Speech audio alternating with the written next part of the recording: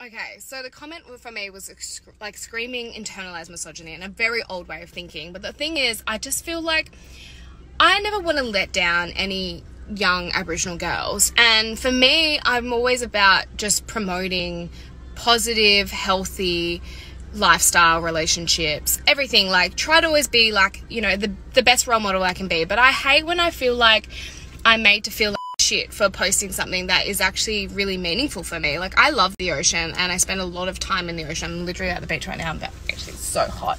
Um, and I'm just so sick of like people making me feel shit for doing the things that I love and kind of feeling entitled to everything of my life. Like you're not. I'm fucking stranger to you. And I get that you guys, you know, keep us accountable, you know, all content creators keep us accountable, but you are not entitled to our life. And I'm so sick of being told what to do and when